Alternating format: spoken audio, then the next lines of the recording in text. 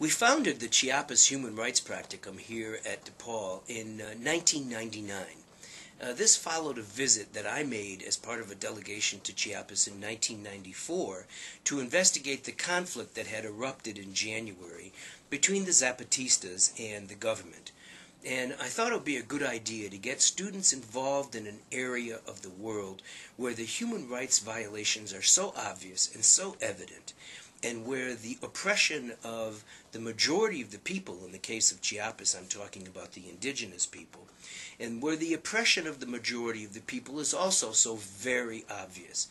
Um, and I did that uh, because I was hoping that our students, our DePaul law students, many of whom have never seen poverty before up close, could experience uh, the conditions in Chiapas, could listen to the Chiapaneco people telling them about what it's like uh, to live through uh, the human rights abuses in Chiapas. And my hope was is that we would not only be able to help the Chiapaneco people, but also to transform the lives of the DePaul law students who would go there. And so, um, since 1999, uh, we've been taking DePaul law students to Chiapas.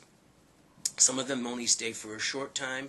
Those who speak Spanish fluently stay for the entire summer, and they work in legal rights offices, uh, human rights offices. And uh, we've been doing this now. This is our 11th year that we've been taking people uh, to Chiapas. I think it's the only Chiapas program in any American law school. And I think that DePaul University is the only uh, university in the country that has two Chiapas programs because of the uh, program run by Professor Tavanti in the uh, School for Public Service.